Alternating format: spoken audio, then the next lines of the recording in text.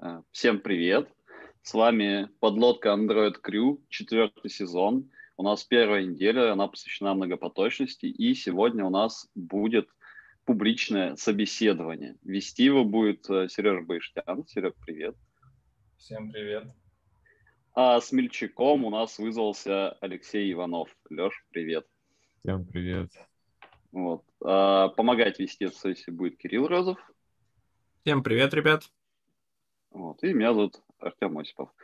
А, чатик, я вас сейчас очень попрошу дать много шума Леше, потому что это надо прям много смелости, чтобы прийти, решиться. Да нет, и да шум. Да, все. Причем Отлично. собес совсем нестандартный еще, ребята. Вообще.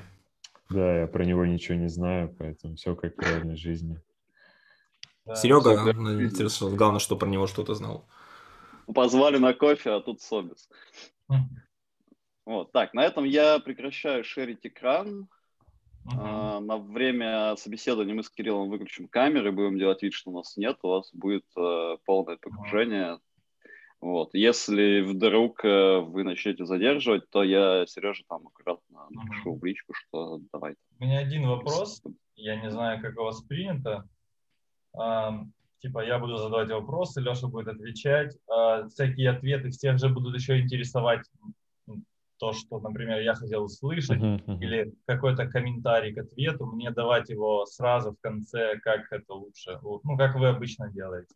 А, смотри, если у тебя есть какие-то логические секции, то можем просто останавливаться, там просить Лешу снять наушники и давать комментарий, либо просто дать его в конце. Вот. И а людей попросим накидывать в Q&A вопросы, если у них там они остались, и в конце тоже зададим. Мгм. Окей.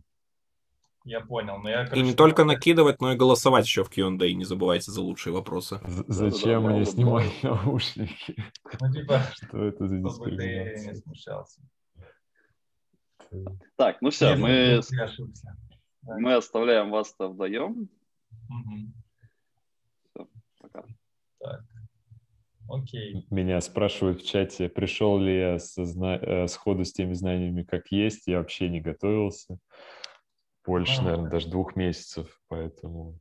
А, в общем, я немного расскажу, что сегодня будет. Эм, Я вчера с ребятами из Авито тестировал разные задачи, понял, что задачи получаются очень плохо. Ну, типа, очень трудно дать такую задачу, на которую уйдет ну, небольшое количество времени, и еще диалог какой-то был, поэтому у меня есть одна заготовленная простенькая задачка в Яндекс.Коде, чтобы посмотреть, и там не надо писать много кода, а надо пообщаться.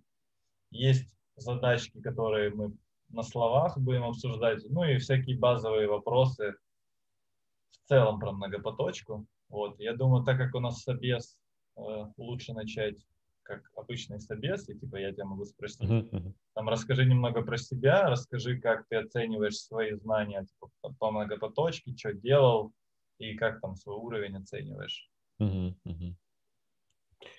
Давай тогда начну. А, Меня зовут Иванов Леша. А, Я два месяца назад еще работал а, Android-разработчиком в Яндексе на проекте Яндекс Авто. Мы делали бортовой компьютер для автомобилей, который работал на андроиде. То есть прям коммитили в исходнике андроида, делали всякие приложения обычные, системные приложения, патчили систему. Вот. А, В принципе, это, наверное, такая большая, большая часть моего опыта. До этого я работал в небольших компаниях типа Bookmate, а, просто Android-разработчиком. Вот. А, По многопоточности, ну, то есть в последнее время я скорее редко что-то с ней связанное делаю. Вот. Но в целом, типа, мне кажется, базу я, я какую-то знаю, потому что я провожу собеседование, тоже в Яндексе проводил. Вот. А, наверное, как-то так, если в двух словах. Мгм. Окей. Ну, давай тогда начнем просто с э, того, зачем вообще нам нужно многопоточное программирование, какие основные задачи помогает решать. И, ну да, начнем с такого простого вопроса. Ну, а, восп- воспользуюсь немного материалами вчерашней лекции. В общем, уже довольно давно, а, собственно говоря, процессор умеет выполнять код на нескольких ядрах.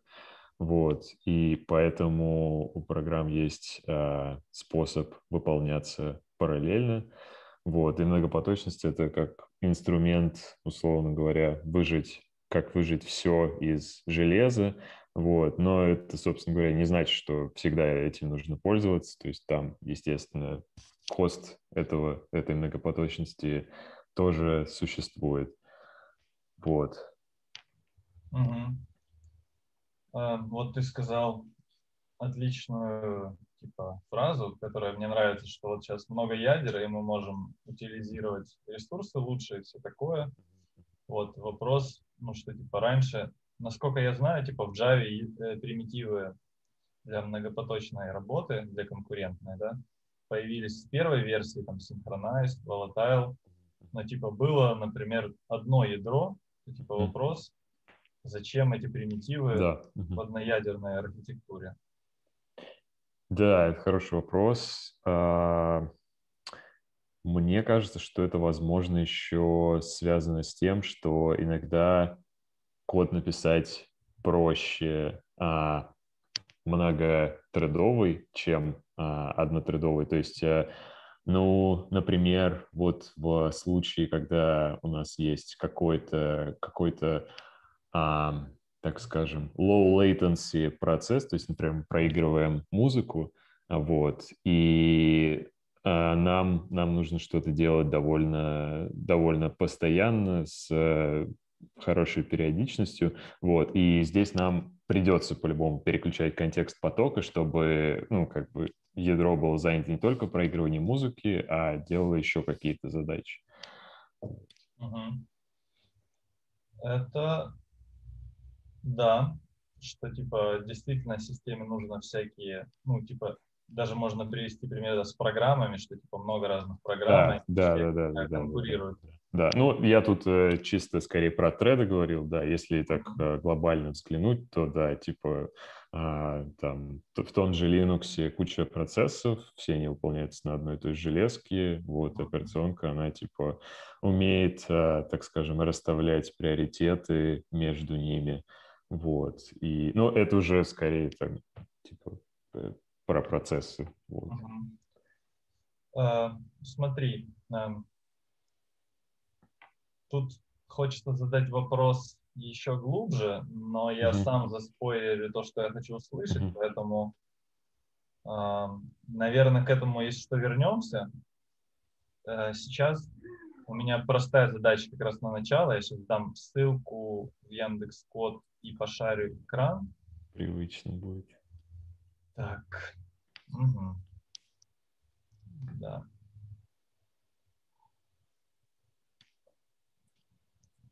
Я ее кину в чат, все можете прям подключиться, положить Яндекс Код.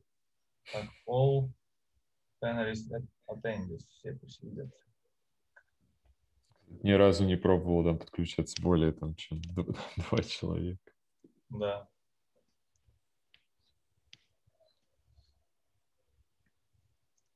Так, все, я зашел.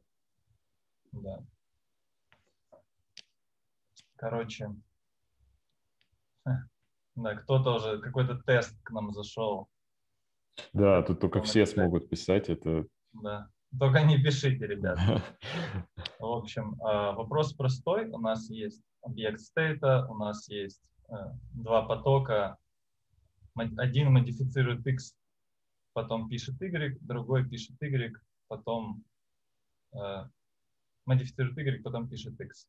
Вопрос напиши, какие варианты мы можем увидеть в консоли. Угу, угу, угу.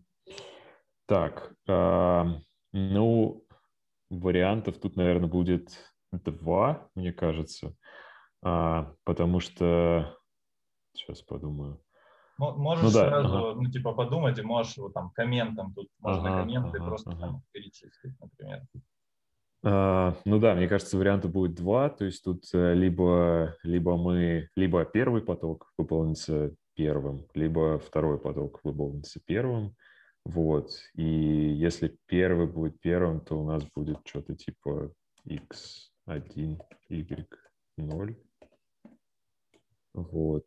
А потом уже, типа, финальное, финальное состояние. А что мы там печатаем-то? А, мы печатаем state y, тогда будет 0. Ладно, сейчас напишу так пока для понятности. А тут тогда будет, мы печатаем x. Так, и если у нас второй выполнится потом, то мы напечатаем x, который уже будет 1. И, соответственно, то же самое, только наоборот. x0, y1. Ну вот, по идее, по идее, это так должно быть. То есть потом мы вроде ничего не выполняем, делаем джойны. Вот. Угу. Рано был у нас один раз. Вот. Тогда такой вопрос. А, а что нам гарантирует? Ну вот ты перечислил, что угу. Типа вот они выполняются последовательно, и может быть либо так, либо так. Uh-huh, uh-huh, И вопрос такой, а что нам вот в текущем коде гарантирует э, такое последовательное исполнение, что мы не можем увидеть другие какие-то варианты? А, ну вот, если бы мы, например, не написали join, тогда, возможно, бы у нас вообще ничего не вывелось, потому что, ну, типа, main поток закончился бы, и, может быть, эти треды бы ничего не успели написать. Вот. А, еще что... То есть вопрос в том, что, что тут могло быть еще не так, чтобы было больше вариантов. Угу. Ну, скорее, угу. вопрос... Вот ты рассказал, что оно исполняется последовательно, и у меня вопрос, за счет mm-hmm. чего оно последовательно исполняется. Ну, то есть mm-hmm. у тебя, ты как? Типа, а, да, да, да, все, я тебя понял. Этот я тебя понял, да, да, да, я, я это, а, да. А, ну да, в теории у нас еще могут быть, э, в теории у нас еще могут быть варианты, когда, а, например, выполнится первая инструкция, типа state а, x1, вот, а потом а, у нас сразу а, выполнится второй тред, ну, то есть они же, они же у нас никак не связаны, я что-то тут вступил, а, вот, то есть у нас в теории, да, может быть еще, еще вот такой вариант, если у нас а, мы сразу вывели, так, сейчас я подумаю, да, у нас может быть вариант, когда мы напишем сразу например, y1, и потом у нас будет x тоже 1. То есть если у нас сначала выполнится вот инструкция state x, потом state y, дальше один print, потом второй print. Uh-huh. Такое тоже может быть, потому что, да, у нас никак не... У нас эти операции не атомарные. Вот. Uh-huh. Uh-huh. Так, э, окей этот кейс у нас появился. А, ну да, и то же самое, то же самое наоборот. Угу, угу. Ну, последовательность в данном случае ну, да, да, да, да, не важна, угу. но да. А, тогда еще такой вопрос. За счет чего вот второй поток, который печатает, например, x, если в x записали, увидит это значение? Ну, типа, вот видишь, он когда-то видит, когда не видит. Типа, что на это влияет? А, так, а, на это могут повлиять, по идее, две вещи, а, насколько, я, насколько я понимаю. То есть, а, либо, а, если он, например, увидел, это значит, что вот у нас инструкция statex, она равно один, она выполнилась, и при этом она же попала в кэш второго потока. То есть он типа засинкал свой кэш, и нам так повезло, что мы уже напечатали эту переменную. Вот. И то есть тут может быть как бы два момента, когда она станет нулем, либо а, первый поток еще не выполнится, либо типа потоки не засинкуют свой кэш, и тогда не получим. А можешь сказать, э, какие события могли привести тому, что она может попасть в кэш двух потоков. Угу. А, какие события там, если, в смысле, мы не там не используем какую-то синхронизацию, в смысле, в обычной работе Ну да, то есть, программы. э, я не знаю, может, стоит глубже спрашивать Мгм. про кэш, но я вижу, что ты это сказал, значит, есть примерное понимание, что Мгм, есть мгм. какой-то кэш, который не память, да, и вот Мгм. в итоге его используют для быстрой работы, поэтому мы Мгм. опустим, типа, разговор Мгм. про это. Но вот вопрос, что, типа, ну, если этот кэш есть, мгм, и иногда бывает так, что как бы два потока видят одно значение из Мгм. этого кэша. мгм, Ну, в данном случае они видят там, ну, можно задать такой вопрос, вот они видят в данном случае из кэша или из памяти. А, Да, это хороший вопрос. Это хороший вопрос. А, Я знаю, что в Java есть такие ситуации, когда типа Java машина тебя, условно говоря, защищает вот от таких штук. По-моему, вот, например, когда а, ты используешь synchronized блок, то вроде она сразу, по-моему, читает из памяти. Но тут я могу ошибаться. Вот. А как может ли она, когда она читает из памяти в обычном случае, тут я точно не скажу. То есть, ну, я не знаю, когда точно именно синхронизируется кэш с реальной памятью. Я предположил, что, ну, на- наверное, наверное, это вот как раз про вот этот Java Memory Model, вот, может быть. А, И, наверное, там есть какой-то какой набор правил а, по тому, когда это происходит. Вот. Но тут точно я скорее не скажу прям. Ну да, тут две составляющие. Э, типа Java Memory Model и ну, сама операционная система, Мгм. Мгм. само устройство процессора физическое, типа какие события там у тебя могут приводить к тому, что он решил э, даже без синхронизации с памятью, типа, все равно они увидели это значение. Вот такое событие тоже может быть, что вот Мгм. два потока могут увидеть. Мгм. А, Но а, давай тогда пойдем дальше. Я Окей. понял, что типа, тут у тебя есть понимание концептуальное, но там, глубину не будем. Ну да, да, да. Тут я не- Вот. не Тут есть еще один вариант, который ты не напечатал. Вот можешь подумать, если не придумаешь, я подскажу, и потом просто поговорим, почему такое может произойти. Ага, сейчас, сейчас, давай подумаем. Так, ну, по логике, что тут еще может быть? Можем ли мы когда-то напечатать сначала... А, ну да, да, да. Так, сейчас. Да, может быть э, еще один вариант, э, типа вот зеркальный вот этому. Мы сначала так или не может быть?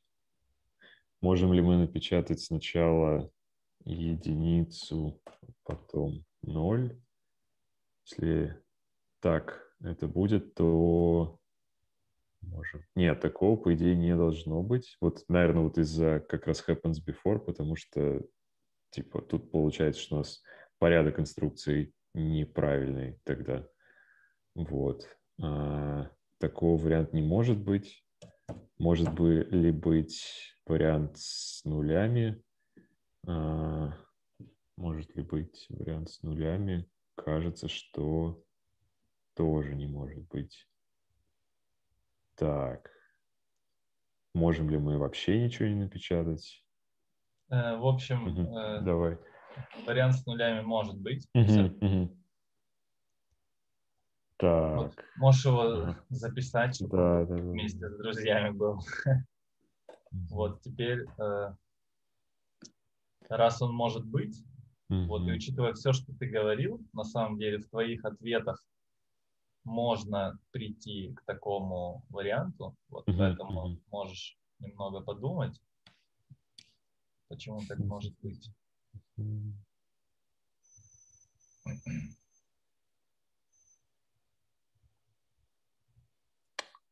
Так, ну если, если мы пишем оба нуля, значит у нас момент вот этого println у нас а, в стейте лежат нули, но при этом мы как бы вроде выполняемся после...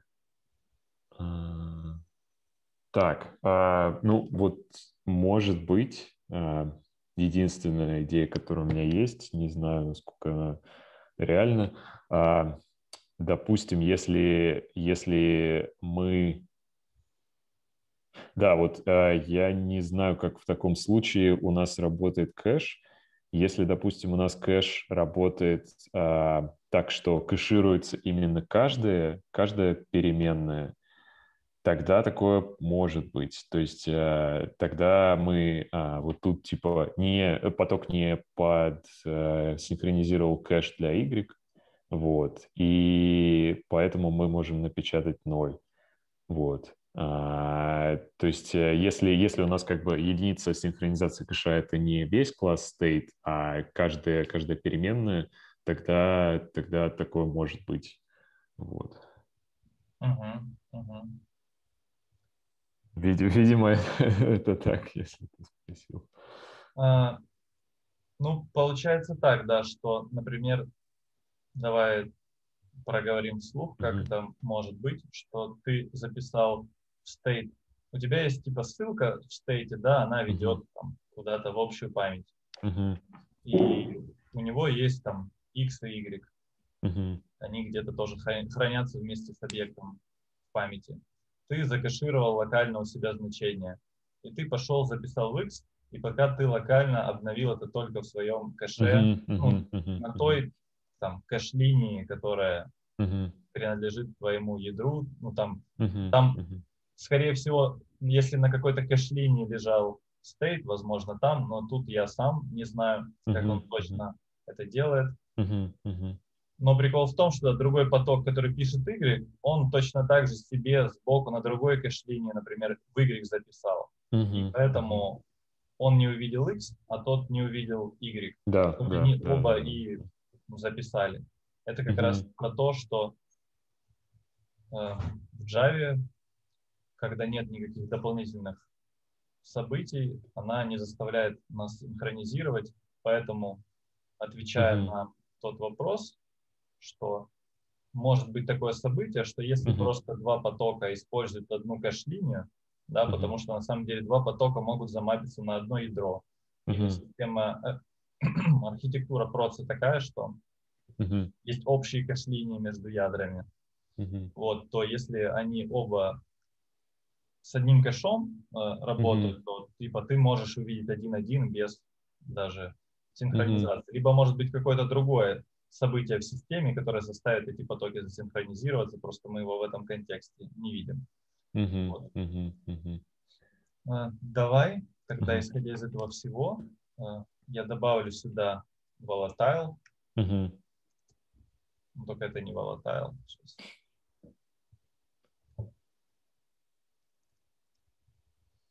И какие теперь варианты мы можем увидеть, когда у нас Мгм. есть volatile? Так, э, Давай Да, можно да. вот тут с- ниже я напишу с volatile. ага, volatile. Я А, volatile вообще правильно написал? Потому Не, что не, я сам. Да-да-да. Сейчас я поправлю. А, нет по цвету. Ну ладно. А, Так, а, если мы используем volatile, тогда получается вот у нас мы заставляем а, типа, когда мы считываем переменную, мы вот ее читаем не через кэш, типа напрямую сразу в память. Вот. И тогда какие у нас могут быть варианты? Так, варианта с нулями вот как раз тогда уже, кажется, не будет. Сейчас я их всех скопирую. Да, вариант с нулями уже не будет, потому что мы уверены, что мы засинкали кэш в этот момент. Вот. Может ли быть ам, вариант с единицами, когда... Что у нас происходит? Когда мы сначала пишем... Так, вариант с единицами у нас может быть, потому что, типа, чтобы его полечить, нам нужен скорее нам нужен скорее synchronized блок. Вот, тут у нас никаких, а, никакой синхронизации нету. Вот. Поэтому мне кажется, что вот такие варианты у нас останутся, только без нулей.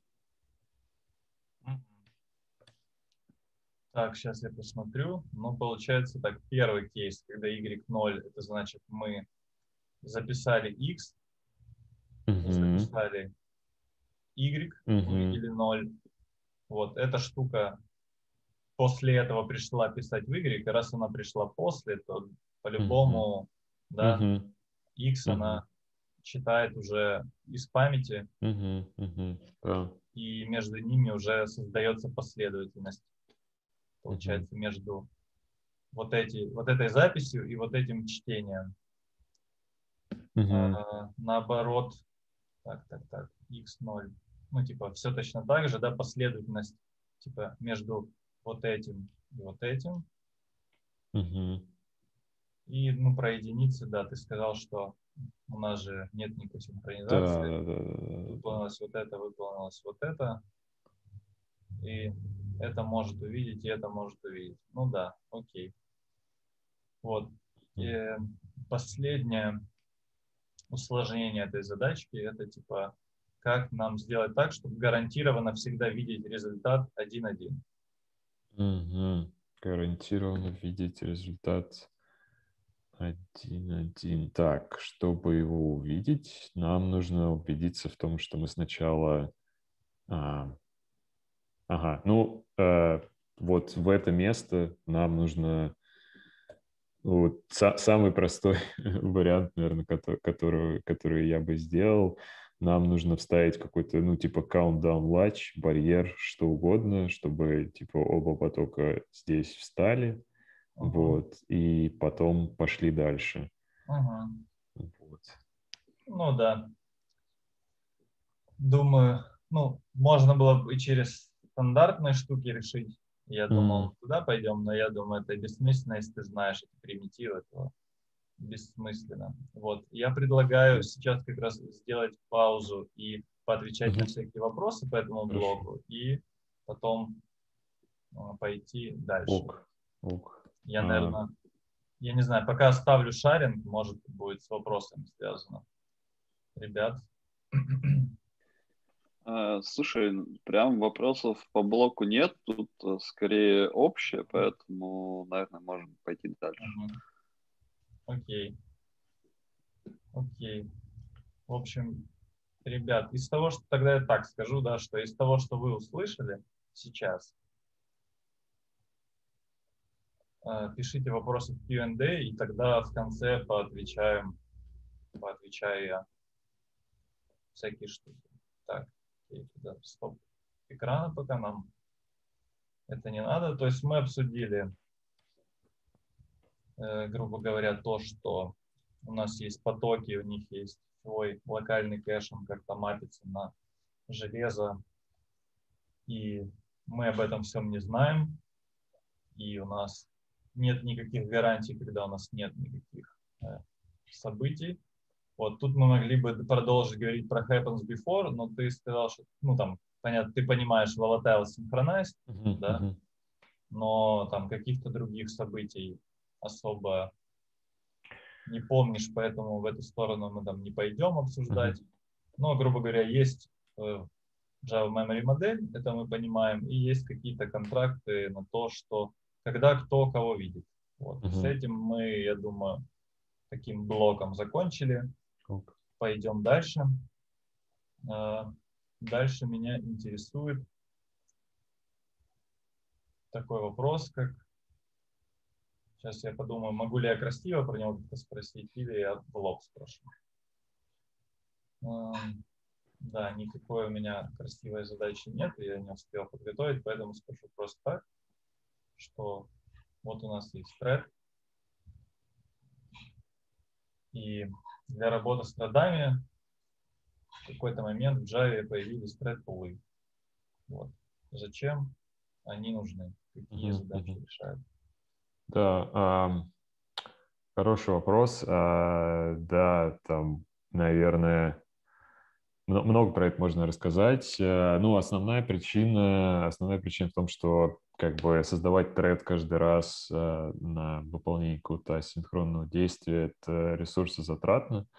Вот. Вчера как раз э, обсуждали вот этот момент, типа в каких-то ранних версиях Java там это чуть ли не, по ну, какое-то количество килобайт на память, э, типа memory footprint, вот, но сейчас в новых Java уже стало лучше, вот, но новая Java там на Android не, не скоро появится, вот, а, это одна из причин, вот, а, ну да, наверное, это сам, самая, самая главная причина, пожалуй, вот, а, пам-пам-пам, что еще рассказать, еще, по-моему, пример, вот, а, пример а, такого, такого концепта, он в async тасках, если я правильно помню, там давным-давно вот у них, короче, э, был пул для выполнения, по-моему, что-то типа количества ядер, вот, и, по-моему, в новых версиях Android они поменяли его просто на, типа, этот single thread executor, чтобы вот как раз э, меньше использовать лишних потоков. Отлично, что ты зашел в эту сторону. У меня тогда вопрос. А, как мне принимать решение, сколько потоков мне в тред-пуле нужно? Угу, угу, угу.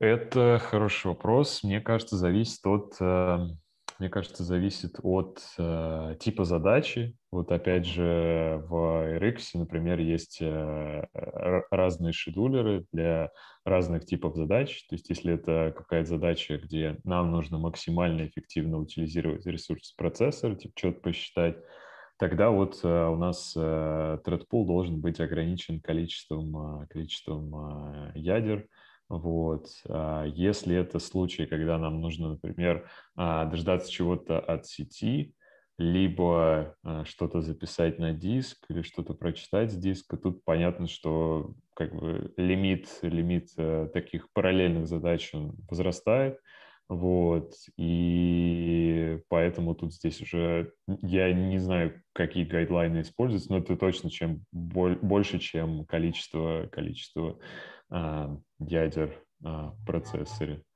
Вот. А, еще какие примеры можно? Ну да, да, наверное, так. Ты сказал такую фразу, что понятно, э, там, что типа вот диск сеть понятно, вот можешь раскрыть это понятно, почему все-таки да. А, а, да, допустим, вот э, пример, если мы ограничим количество запросов в сеть, там, вот как 8 ядер там, у нас на телефоне, вот, э, у нас получается вот девятый запрос, он будет ждать, пока, пока там пройдет пинг, условно говоря, пока мы там э, скачаем наш HTTP-пакет, а, вот, и не будет выполняться до этого. Ну, то есть э, вот у I.O. обычно как бы вот этот период, я не знаю, как это описать, но это не busy waiting, типа система, она переключает э, все равно поток, когда видит, что вот он что-то ждет, э, но все равно у них большой, как, как это сказать, вот, э, у них э, количество процессорного времени, которое они тратят на себя, оно маленькое. Вот. И так, если мы ограничим, сделаем слишком маленький лимит, у нас будет неэффективное использование процессора. Uh-huh. А что вот происходит с потоком, когда он приходит, ну и назовем это IO операцию, да, и понимает, что ему нужно ждать? А, ну вот, допустим, а, допустим, а, если мы, не знаю, а, да, ну, да, типа с, с операцией, с операцией на ее, допустим, если а, мы там пишем файл, а, и кто-то еще другой пишет файл, у нас там типа у системы, например, стоит write log, вот, тогда, и если мы использовали там метод, который, который типа просто ждет, пока освободится этот файл, то вот у нас будет э, просто переключение контекста на другой поток, вот, э, который что-то захочет поделать на этом моменте. Угу. Расскажи, что такое переключение контекста. Угу, да, хороший вопрос. На самом деле тоже довольно, довольно глубокий. А, а, собственно говоря, у каждого труда есть свой контекст. Это регистры, в Java вроде в байткоде они тоже есть. И это, вот, собственно говоря, наверное, кэш вот этого потока. Вот. И для каждого потока он свой. А, ну еще Stack Trace. Да, Stack Trace — это тоже контекст потока. Вот. И операционная система, она, у нее есть прям системные вызовы там в, в ассемблере, ну, если говорить про 3D, которые прям а, операционки, вот, а, которые, которые вот условно говорит, что вот а, тебе нужно перейти на другую инструкцию вот с таким-то контекстом, вот, и в этот момент операционка как раз э, делает этот свич, типа обновляет, обновляет э, все регистры, вот, обновляет этот кэш. Вот. Угу. Как ты думаешь, эта операция? Это, опера эта операция дорогая, вот, э, ну, как бы, смотря с чем сравнивать, если сравнивать там с сложением, вычитанием, какими-то конвейерными операциями, тогда, да, она, естественно, сильно дорогая, вот, э, но э, все равно, насколько я понимаю, сейчас э, процессоры довольно быстро уже умеют такое делать, вот. А, ну, то есть, если сравнивать там, например, с походом, походом в сеть там на, или в базу на 100 миллисекунд, она, конечно, не настолько, не настолько долгая. Вот. Но вот как раз э, проблема, которая может возникнуть, если в приложении очень много потоков, вот это как раз очень частый контекст-свитчинг. Вот. И Наверное, кстати, вот э, один из профитов карутин, что вот они же там не используют э, потоки из операционки, вот, возможно, они на этом еще немного экономят. На самом деле я ожидал, что ты сейчас скажешь один из профитов тредпулов, потому что...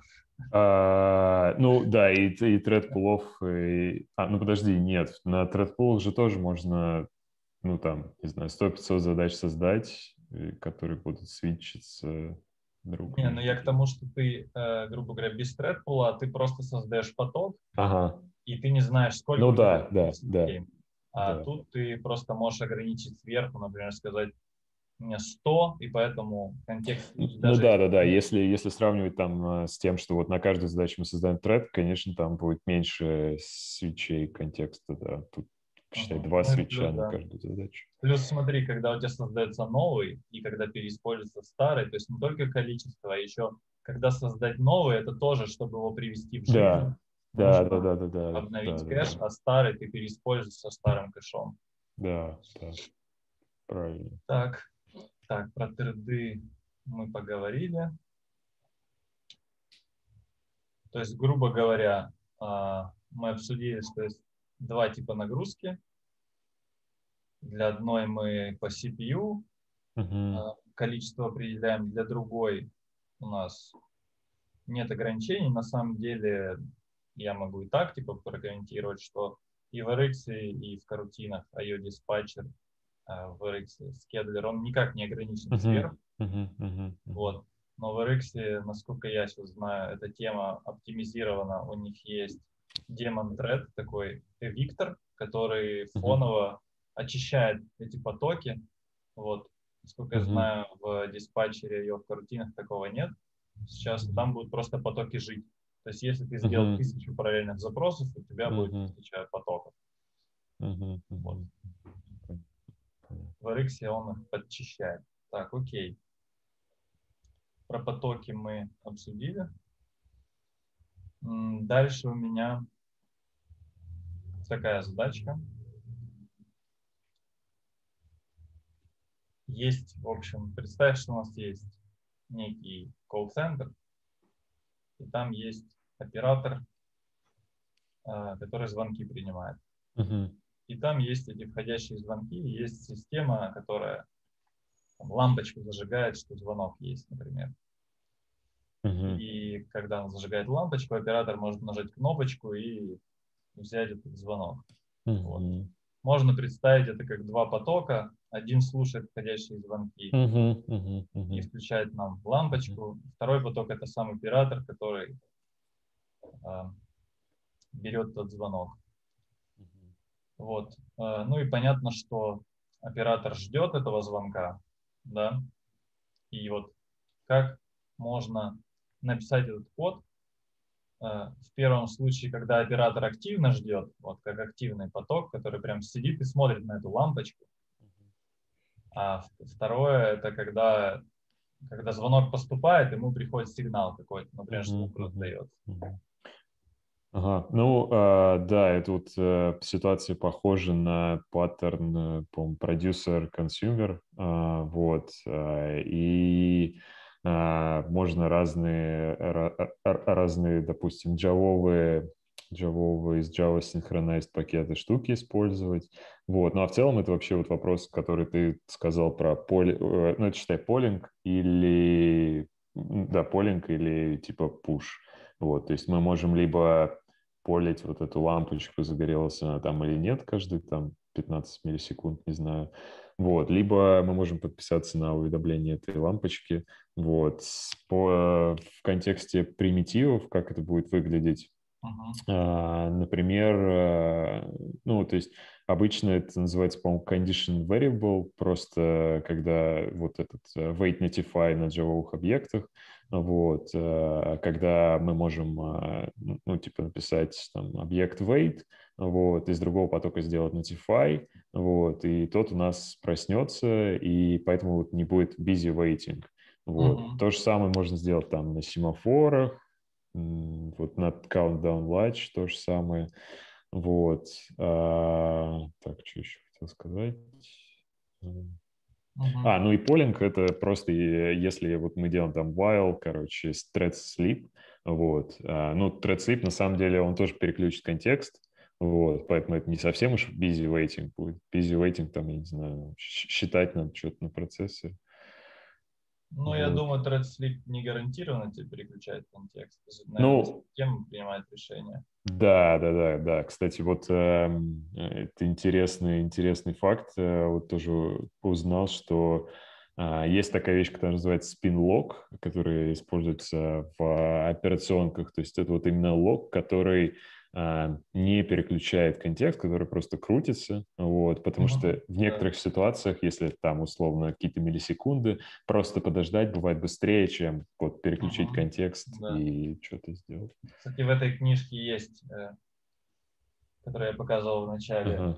ну это это самый первый там базовый пример, то есть inlog это типа самое, может быть, начало этой книжки. Uh-huh. Uh-huh. Так, тут мы затронули э, много разных базвордов, Uh-huh, uh-huh. Раз ты упомянул спинлок, я могу задать тебе вопрос, как написать такой спинлок? Может, ты не только слышал, но еще и понял, как это сделать? А, да, я, я, по-моему, даже так делал но давно. А, сейчас, сейчас попытаюсь вспомнить. Um, ну, для, для спинлока что нам понадобится? Ну, то есть это обычный лог, у которого есть лог и unlock, если я правильно помню. Вот. И и, и, и.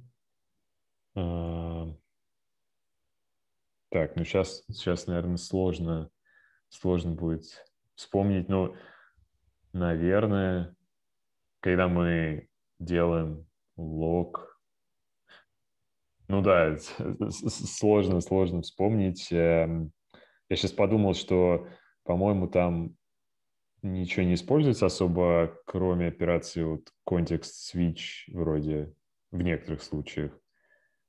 Но на чем его тогда можно реализовать вообще, на каких примитивах, я что-то уже подзабыл. Ага. Я помню. А... Ну, тогда я тебе дам такую подсказку, ага, заодно и вопрос. Давай обсудим. Э, вот в Java есть примитивы разные. Угу. Их можно разделить, ну, типа, алгоритмы разделяются на несколько типов, но мы сейчас не про алгоритмы, а вот про примитивы, что есть блокирующие, синхронизирующие угу. и э, не блокирующие, синхронизирующие. Угу. Вот. И можешь, наверное, привести пример, что к чему относится. Так, а ты имеешь в виду примитивы в Java? Это в смысле, в смысле, что? то это может, быть. очень Ключевые понял. слова, Java ага. util concurrent, все типа. Ага, ну, ага, я имею в виду ага. какие-то сущности. То есть примитив, наверное, да, не, не int long. Mm-hmm. понял, понял, да-да-да. А, то есть, э, получается, блокирующие или не блокирующие? Да. Ага. А, так, так, так, так, так, так, так. Хм. Ну, а, я так, ну, как бы блокирующий, по, по, по, по-моему, это определение, когда, когда так, ну, э, тут сейчас надо еще уточнить. Uh-huh. Вот, например, если, если мы делаем там await или вот э, какой-то объект .wait, а, это как бы с точки зрения потока он блокируется, но реально он не блокирует ничего. В смысле, вот э, ты имеешь в виду, ну, как это с точки зрения потока или... Давай э, так, что чтобы тебе сделать wait, для, для этого тебе нужно в критическую секцию войти, то есть захватить сначала лог, а потом uh-huh. его отпустить. Поэтому, ну, типа, я считаю, что это считается блокирующим, okay. потому что твой поток как бы блокируется, засыпает, уходит в неактивное состояние. А uh-huh. то, что называется не блокирующим, это когда как раз вот ты привел пример спинлок, это когда uh-huh, поток uh-huh, uh-huh. не уходит в какое-то состояние, ага, там, ага, листа uh-huh. или что-то типа такого. Понял, понял, понял, да, окей, окей. А, так, так, так, так, так, так. Ну, я на самом деле вот сейчас что-то задумался, и вроде большинство примитивов, которые я знаю, большинство вот из пакета Concurrent э, вроде бы они, ну, у многих там есть э, функция блокировки, и вот я сейчас что-то, ну, то есть вот у тех же там Countdown Latch, у тех же локов, а, я сейчас пытаюсь просто вспомнить, где ее нет, где именно, именно такой вот типа busy waiting. Может быть, в может быть, в атомиках, но, по-моему, нет. По-моему, там тоже ну, да, синхронизация. Атомики, атомики как раз не, ага. не блокируются. Они исполняются, ага. ну, типа, просто пытаются атомарно изменить. Ага, ага, да, да, да, значит, значит просто в атомиках. не получиться. Ага. Ну вот кроме атомиков я даже не знаю, где. Может быть, мне кажется, везде, везде вроде ну вот э, еще помимо атомика есть еще volatile. Типа, ага. Сколько я знаю. Вот, и как раз этот спин-лог, ага. ну, и там всякие такие штуки, локи, короче, которые нас не усыпляют, да. Угу. Это что-то внутри, где ты while true там пытаешься атомик, ну, угу. захватил какой-то атомик, другому не даешь, и он, когда ага. пытается ее захватить, он типа тоже крутится, пытается обновить атомик. Ага, ага, ага. А, а volatile ты имеешь в виду эм, что, может, не, не, не очень понял, не очень понял, как, как это работает. А. С волатайлом, смотри, как это можно написать. Ты, например, пришел, э, и у тебя...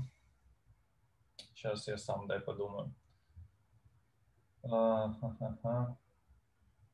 ну да, с волатайлом ты же не сможешь этого сделать. Скорее всего, это я видел в книжке какую-то комбинацию ага. волатайла с чем-то.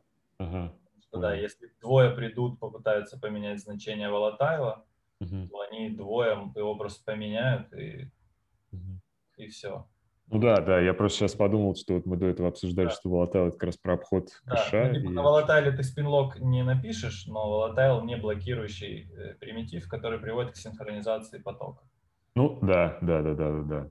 Да. Так, окей. Ну, как бы, в принципе, все, там, где нет слова wait, wait, по идее, все, все ну, да. не, не Короче, у нас был спин про спинлоки, теперь да. вернемся еще назад-назад про задачу. Ты говорил про notify wait. Я uh-huh. думаю, стоит разобраться, раз ты упомянул, uh-huh. типа, что это, как это работает.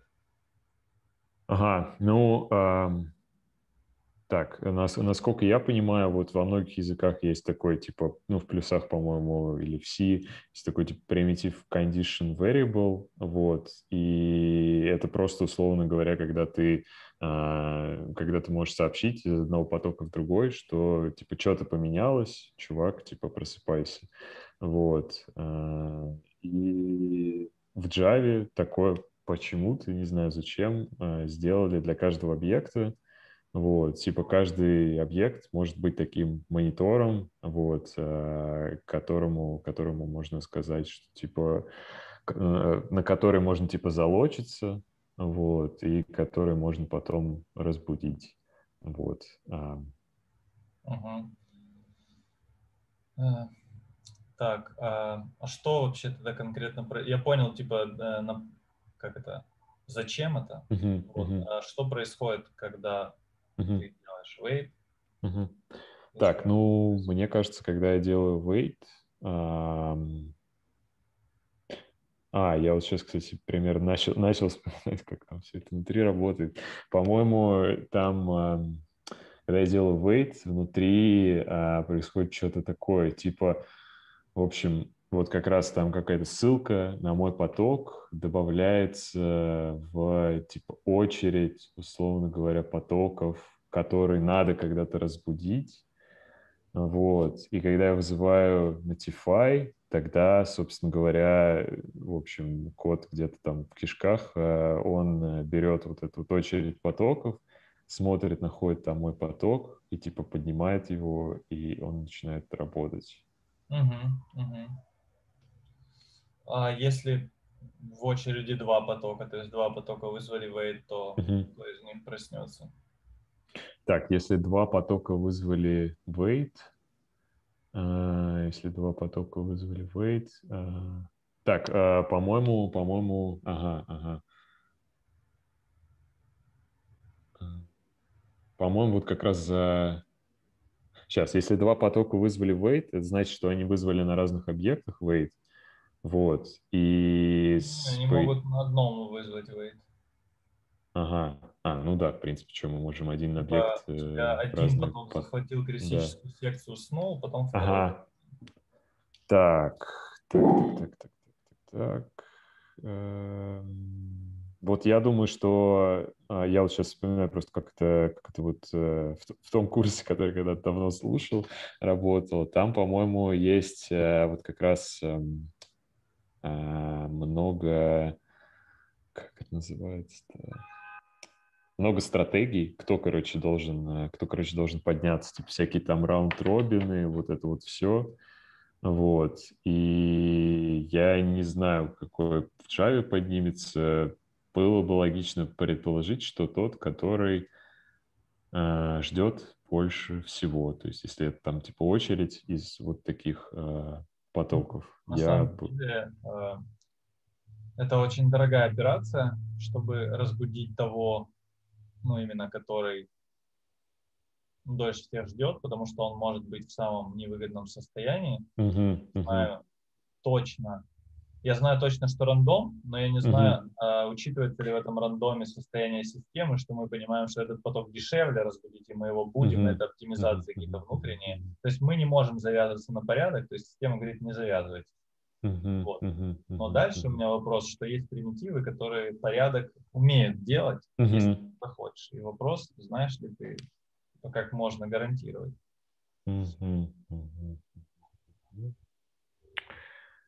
Так, как можно гарантировать? Как можно гарантировать? То есть у нас есть два потока. А, да-да-да, есть такое. По-моему, как раз... Сейчас, у меня почему-то инстинктивно я вспоминаю семафор. Вот. А, По-моему, вот они как раз бывают честные и нечестные. Вот, но я сейчас что-то еще пытаюсь вспомнить, как он работает. На самом деле все гораздо проще. То есть если провести аналогию, что типа, грубо говоря, вот есть синхронайз, а какой, какие есть аналоги синхронайзда? А, Какие есть э, аналоги синхронайз блоков? ты Самые имеешь в виду? ближайшие аналоги, я бы так назвал. Какие, какие есть э, ближайшие аналоги синхронайз блоков? Мгм.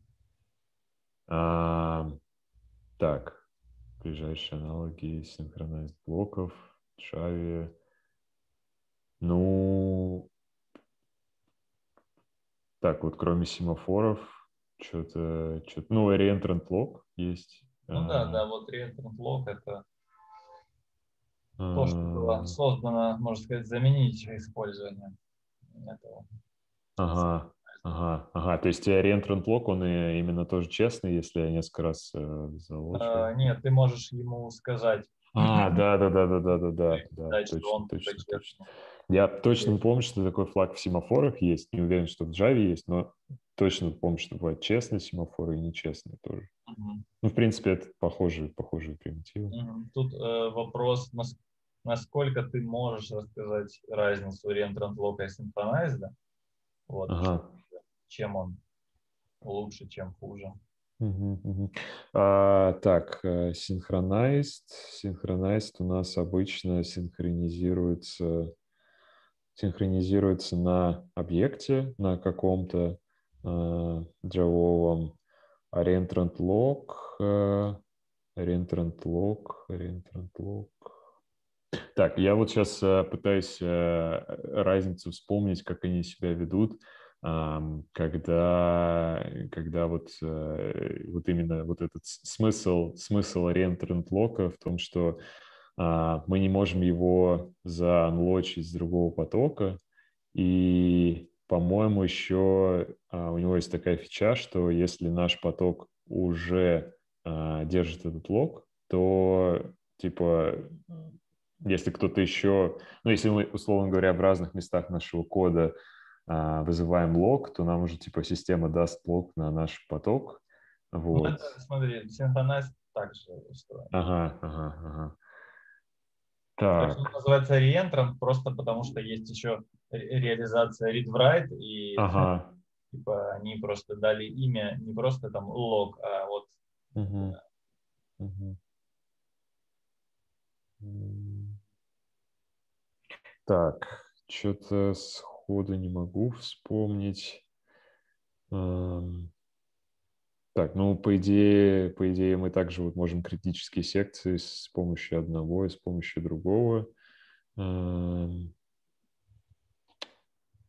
выделять. ладно, я понял. Раз ты его вспомнил, то ты его очень редко использовал, это скорее такой Окей. вопрос, что вдруг ты что-то, ну, слышал про это, Мгм. и мы могли бы дискутировать про минусы Synchronized. Вот, время я смотрю, реб- ребята написали мне в личку, что надо подзакругляться. У меня была одна задачка, типа тоже такая вслух, но Мгм.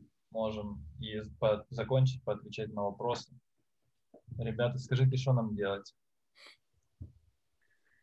А, Давай спросим чатик, а, нам продолжить или нам закруглиться? Как, как вообще люди считают? Про- Просто идет интересно и прерывать жалко. Да, все, люди хотят задачку, кажется. А кто-то пишет уже все, я ничего не Люди хотят крови и зрелищ. А, ну давайте простенькую задачу. Да, давай, да, продолжим. Вот, и на ней завершим. А, ну, представь, типа, такую ситуацию. На самом деле, в мире андроида она тоже может быть, но скорее она про другой мир Java. Но, типа, вот у тебя есть, а, назовем это твоя критическая секция, ну, типа, то место, которое Ага. нужно синхронно менять из одного потока Мгм. у тебя это место нагруженное, бывает, что там даже 100 потоков, ну, 100 запросов Мгм, есть на то, чтобы это изменить. Вопрос, э, как написать это место, чтобы оно было эффективным, ну, во-первых, корректным, а во-вторых, эффективным, чтобы работало быстро, меньше ресурсов потребляло. То есть э, задача такая, что вот у нас есть, условно говоря, 100 клиентов, у них э, есть какой-то вот, какая-то вот э, секция, которая э, выполняется... э, Ее надо выполнять синхронно и давать так, что она, допустим, выполняется там 5 секунд. Что, Типа какие-то вычисления CPU, то есть Ага. что-то вычисляем 5 секунд. Ну или даже секунда уже на самом деле, наверное, уже достаточно долго в CPU. Пусть будет, Мгм. короче, такой порядок. И вопрос в том, э, если мы никак не можем э, ну, ускорять этот код внутри, э, внутри вот этой секции, да? М, да. М. То есть можем начать с простого вообще, Да. какие есть варианты написать этот код.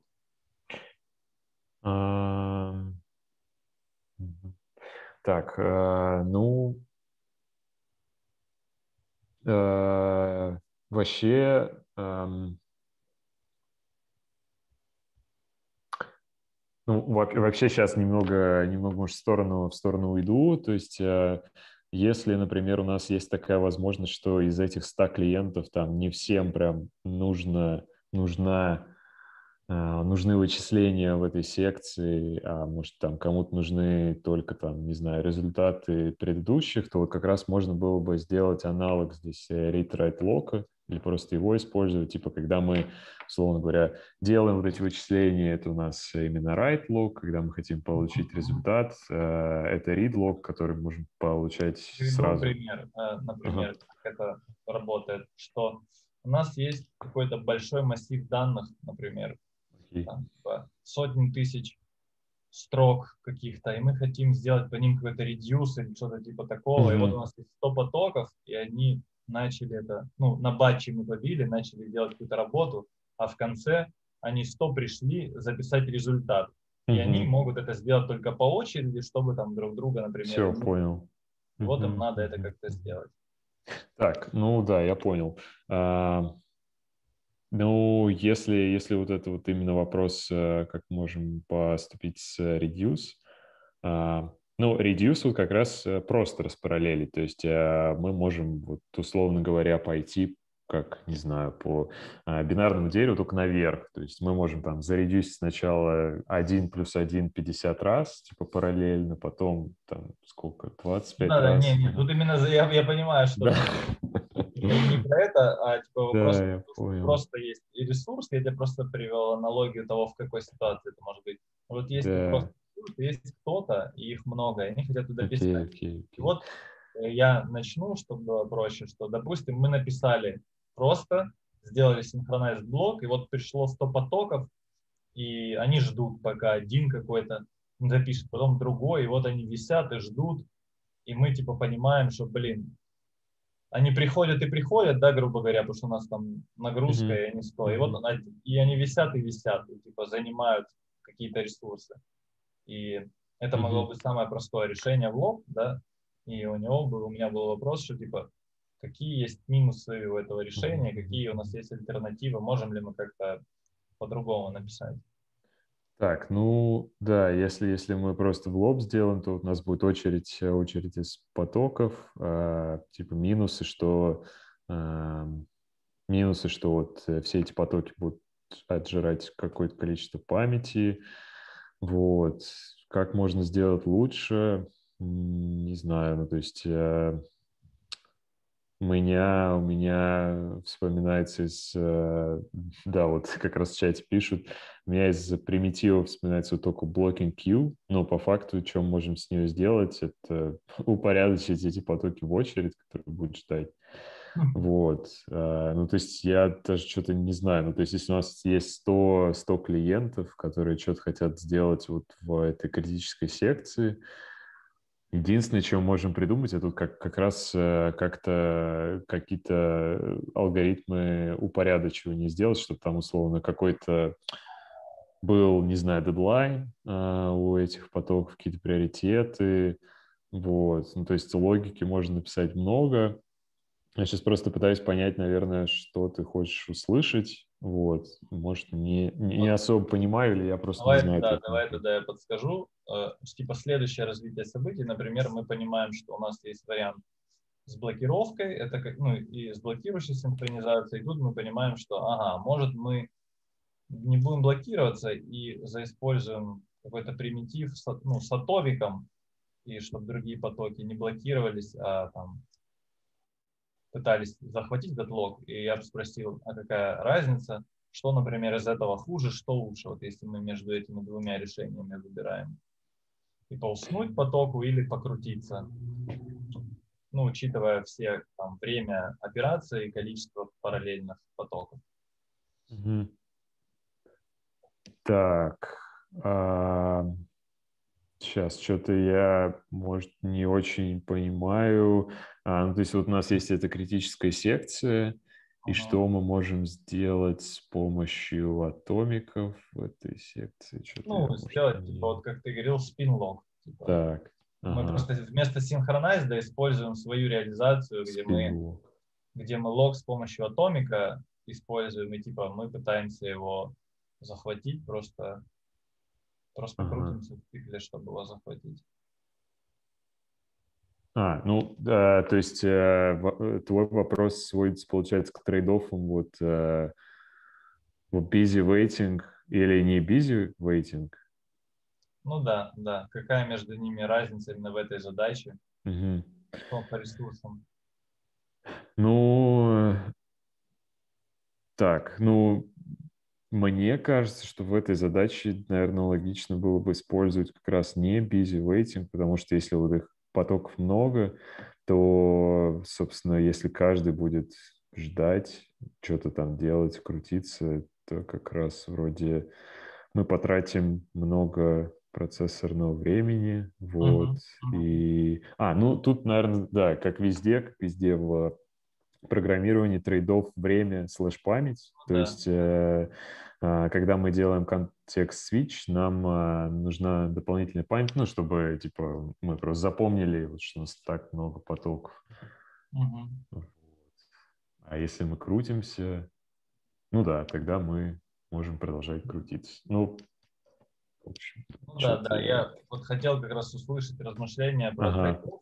Ага. Вот в чате как раз тот, кто писал про Blockit Q, он э, это типа альтернативный ответ, который не про размышления, что лучше, что хуже, а именно про то, как сделать эффективно. Да, эффективно это класть в очередь и просто одним потоком разгребать, а раз у тебя типа э, только а, один может, я тебя понял. просто кладут в очередь и уходят, и вообще не тратят не память, не... Ну, да, да, я сейчас что-то... Да, я тебя понял, я тебя понял. Это типа уже... Это уже такой третий этап, когда мы все обсудили, поняли, что все говно, ага. и используем там single thread executor с э, очередью. Ну да, я, я что-то просто сложно, сложно на, на словах такую задачу воспринимать. Я сейчас понял, как бы, что, что, что, что ты хотел услышать. Да, ага. да, я понимаю. Вот просто если бы у нас было с кодом, просто было бы дольше, пока мы этот код с тобой посмотрели, да, потом что-то набирали там. Поэтому, ну, как бы никаких ожиданий не было, мы это не настоящее собеседование, но я, мы на самом деле спрашиваем, так, ну, я лично такую задачку спрашиваю, вот, по-разному бывает, но никто на самом деле про блокинг Q, по-моему, не рассказывал еще. Вот. Но это у меня нет ожиданий, что кто-то расскажет. Мне скорее интересно порассуждать про вот разницу uh-huh. view, bound нагрузки или вот там поспать, свичнуться потом. Uh-huh, uh-huh, вот uh-huh, про это. Ну окей. Вот, я думаю, все. Вот. Как раз можно минут. тебе на вопросы поотвечать, которые у нас накопились. Так, я бегу. Угу. Давай самый залайканный. Какие топ-3 вопроса по многопоточке на собеседовании, на которых все валятся на самом деле? Такой вот. А, на которых все валятся. На самом деле я не могу их как-то выделить, но могу сказать так, что сейчас а, ну, если вы собеседуете джина, это одни вопросы, если вы собеседуете сеньора, там это другие вопросы. И я хочу сказать так, что сеньоры, это ну, те, кто там давно работают, проходили много собеседований, а, их можно делить на две группы. Это тех, кто знает какие-то примитивы и что-то делал, там, типа, грубо говоря, я знаю Synchronized Volatile, какие-то там э, concurrency штуки, вот, а, есть те, которые уже понимают про там, устройство железа, и можно просто в эту сторону чуть-чуть спрашивать, но не для того, чтобы ожидать ответ, да, потому что ну, это тупо, если ты просто Android-разработчика нанимаешь, но это хорошую дискуссию создает, что типа, если ты видишь, что человек может размышлять, то есть мне интересно, синхронизация, как любая э, работа программиста, это такая творческая работа, и даже если ты знаешь синхронайз, и можешь там что-то объяснить. Не факт, что ты догадаешься его использовать и будешь какую-то хрень использовать вместо него. Поэтому прикольно понять, что человек умеет думать. И поэтому, когда вы обсуждаете, что, ага, вот смотри, а как этот поток тут что-то увидел, и он начинает что-то думать, и если он не знает про эти там кэши, ну и не знает про когерентность кэшей, и ничего этого всего не знает, то это не страшно. Начинаешь задавать, ну, задавать всякие вопросы, и получается в целом просто интересная дискуссия. Но это если там сеньор, и скучно просто ему говорить, ну вот смотри, у тебя есть тред, ну типа это все просто все знают. И это как-то, можно сказать, из двух блоков состоит. Ты быстро проверяешь, что он адекватный сеньор, который знает все примитивы. Дальше ты проверяешь, насколько он интересный собеседник и насколько он адекватно умеет рассуждать. То есть у меня вот так это разделяется. Вот, в целом в мире андроида, да, не могу выделить каких-то, зависит от людей. То есть, да, вот опять же, джуны, скорее их я бы просто спрашивал про Synchronized и Volatile и базовые проблемы. Вот этой задачки, которую мы с Лешей а, проходили, она очень показательна, что типа насколько человек понимает. То есть она как раз очень простая, и ты быстро понимаешь. Вот, какие-то там супер корнер кейсы ты можешь не знать, потому что легко, типа, пропустить, но это не значит, что ты не разбираешься. Вот мы, типа, там, хоть Леша не знал какой-то один вариант, не значит, что он плохой, типа, мы порассуждали, и, типа, я увидел в его ответах видимость, что он, типа, понимает, но, типа, вот конкретно в этой задаче, там, типа, там затупил, но это не страшно. Вот, мне кажется, по джуну тоже будет идеально сразу понять, насколько человек понимает. Типа одного волатайла с синхронайзом достаточно. Просто знание примитивов синхронизации, ну, я считаю, типа, таким бесполезным знанием, потому что если у тебя сложная задача, обычно ты гуглишь Java util concurrent, там, типа, best practice, что-то типа того, и читаешь про все эти примитивы, там, по очереди смотришь какие-то примеры на Google, ну, в, на Stack Overflow и понимаешь, ага, типа, семафор, первый в жизни, там, сейчас поиспользую. Вот. У меня лично такое отношение. Ну и то есть важно это синхронайз volatile и потоки, и важно самому, как собеседующему, понимать, как это все работает. Тогда всегда будет интересно, и можно будет копнуть собеседника, ну, насколько ты там сам можешь. Наверное, предела нет. А, так, ребят, мы так, на самом деле, резко перешли к вопросам. Вот, наверное, нам надо сказать, что мы все-таки закончили собеседование. Леша, можно выдохнуть, а чатику нужно пошуметь, э, сказать ему еще раз спасибо, что он осмелился. Пожалуйста. Было потно, я потел там. Давайте тогда дальше к вопросам. Э, Серега, это к тебе. Э, подожди секунду. Да. Леш, если тебе нужно вдруг идти, то ну, мы можем тебя отпустить, на самом деле, если там по времени. Да, давайте я хотя бы просто выключу камеру, ну, останусь в Да давай мы тебя вот, переместим. Ага, да, да, да. Зрителей да, да. Все, Серег, спасибо большое за собеседование, много нового узнал. Ага. Мне на самом деле очень нравится собеседование, когда ты типа что-то узнаешь. Вот, я обычно тоже такие стараюсь сам проводить, а не просто, что там тебе типа сказали, вот там, нанимаем тебя, не нанимаем. Да. Расскажи про Countdown Lunch. Да, да, да. Ладно, все тогда. Да, все, пока, спасибо, что пришел. Угу. Угу. Да, Серега, вопрос про книжки. Какие ты рекомендуешь почитать э, по многопоточке? Да, а, есть, короче, три лучшие книги по многопоточке и в целом, на самом деле, по Java. Но Java не совсем актуальна, потому что у нас есть Kotlin. Поэтому говорю так, есть э, самая ну, такая базовая и книга, которую стопудово надо читать, ну, если вам интересно, это Java Concurrency in Practice, там такие два поезда, то есть ее все советуют, я тоже советую, типа лучше пока ничего нет. Это прям про все в Java Util Concurrent с примерами там, и все такое. То есть если вы ее прочтете, у вас точно будет полное понимание там всего, что есть, как это использовать. А потом есть книга Блин, я ее даже перечитывал недавно, но забыл. Ну, я скину ссылку. Короче, есть книга в целом «Как писать хорошо на Java». Вот, я, блин, забыл название. И там есть отдельный блок «А как писать хорошо на Java э, многопоточный код».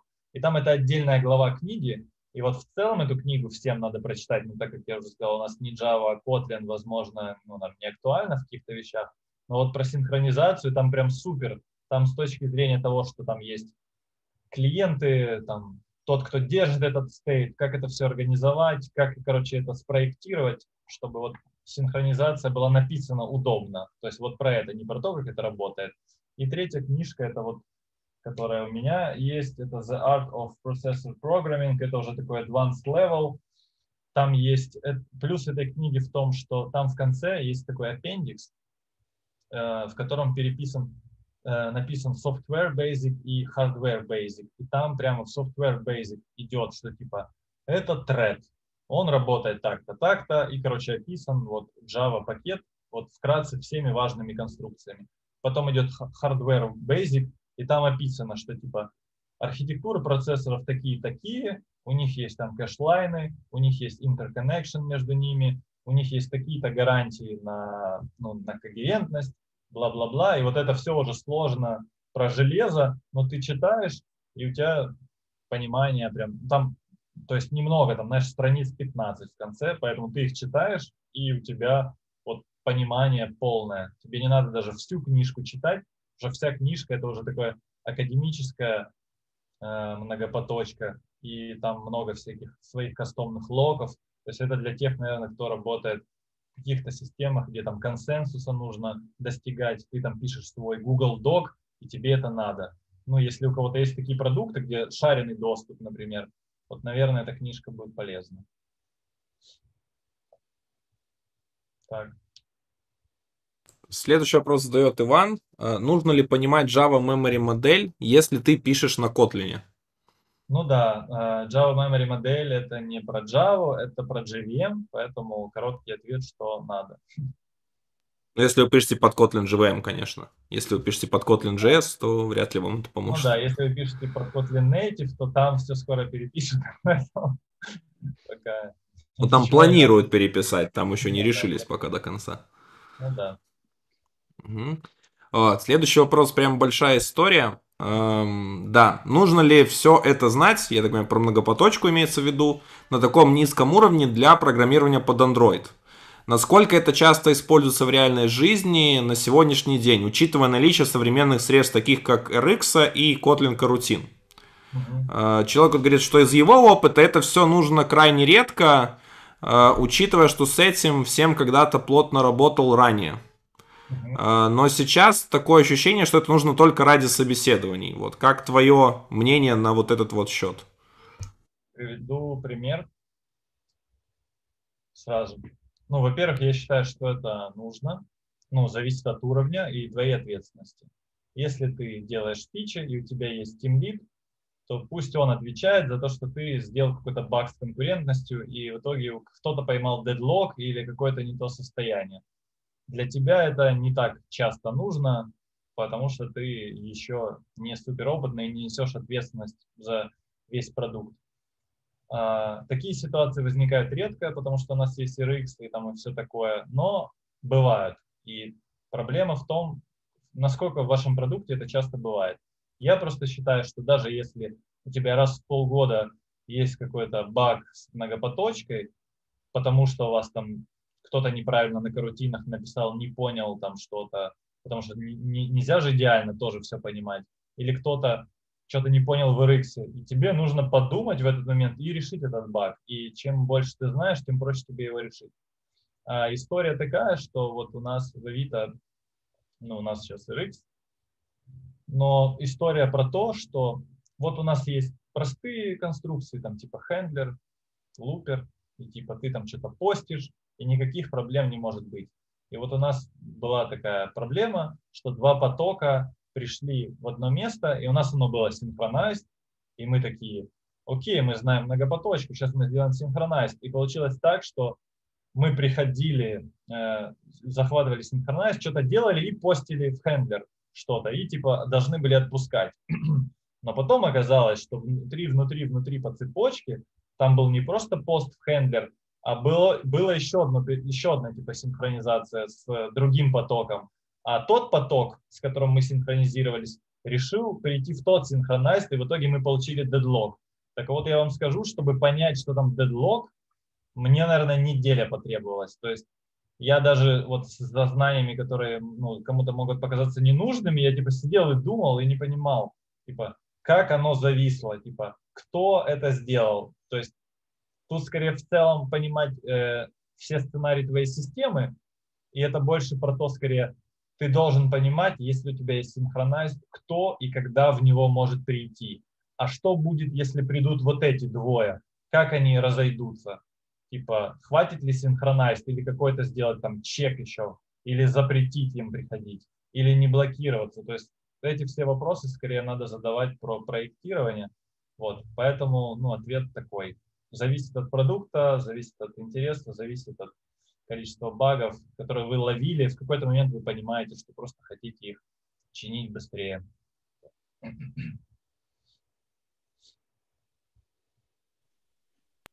Э, Еще, кстати, очень интересный вопрос от Владислава. Как разрядность процессора влияет на работу в многопоточной среде?